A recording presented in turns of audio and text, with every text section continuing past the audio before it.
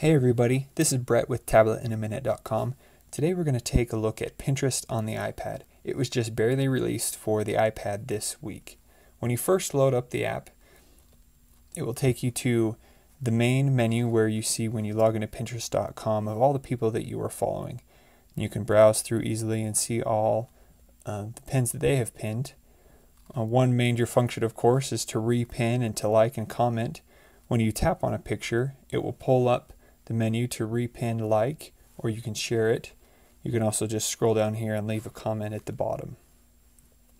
And then you can either tap the side to bring it down or click the X at the top.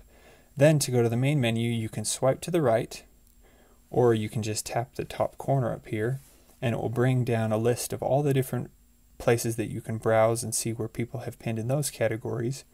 Then you can also um, click right here to see your recent pins or and people that have repinned yours. Um, then there's the people you follow, browse the web, and you can search for different categories. And down here is your um, page, and you can also check all of your settings that you do. Um, you can change your Facebook sharing options and different things right there.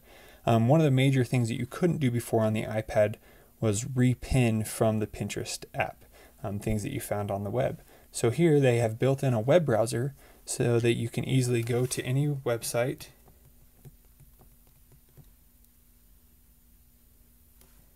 And then once you're there you can click on a page.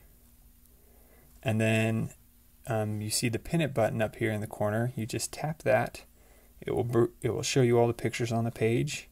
You can and then you can repin it to any board that you have um, then to exit out of that, you just click the X. Whenever you open a page or browse anything, it will bring up a new menu.